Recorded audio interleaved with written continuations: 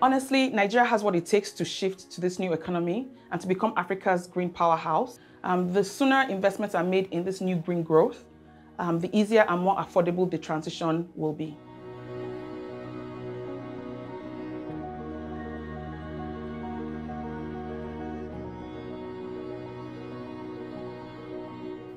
So the, um, the green economy is really a fairly new approach and with so many businesses that are wide open and, and no identifiable leaders.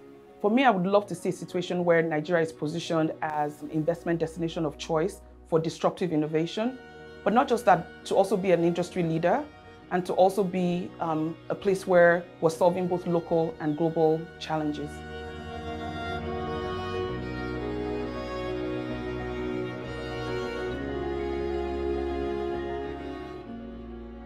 So innovating in um, green growth as a development strategy um, for Nigeria, I think includes supporting of MSMEs and startups in the sector. It's accessing of green funding.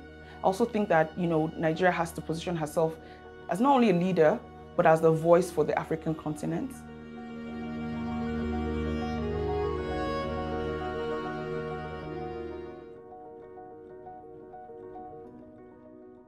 Um, I think Nigeria also has to um, sort of be part of framing the narrative. So, you know, institutional framework is going to be very important.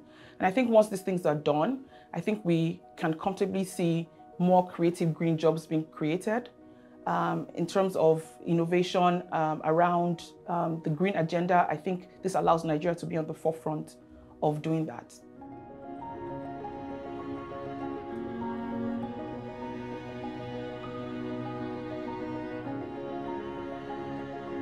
For us to uh, modernize and diversify our economy. Going green is a strategic and necessary choice um, that we need to exploit as part of a global trend in favor of Nigeria.